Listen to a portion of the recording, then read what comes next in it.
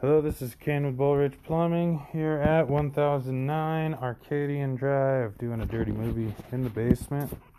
We are at the city tap here at 74 foot, we're going to call it. Go ahead and start backing up. We are in a SDR line, pretty much for the majority of this line. Do got minimal sludge is basically all I've been seeing in this line, so I'm going to recommend that we use our chain knocker machine to get that, that sludge knocked off the walls there. And then I'm also going to recommend a uh, Bio 1 treatment.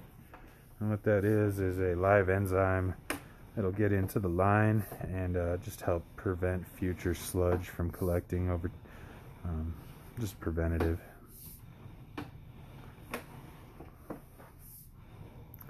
A little bit of a belly here, looking about a quarter inch of water.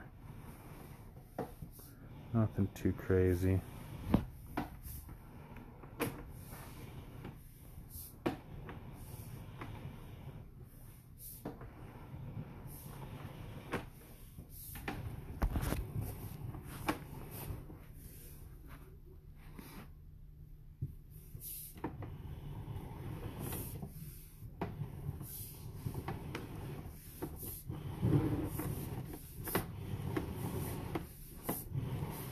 I think right back here when the there's a white fitting, I think it might be an outside clean out. I didn't exactly look around too hard though, because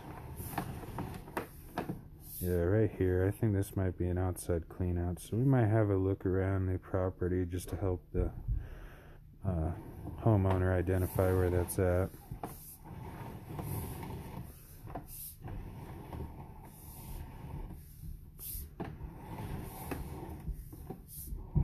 There's a, some coins right there.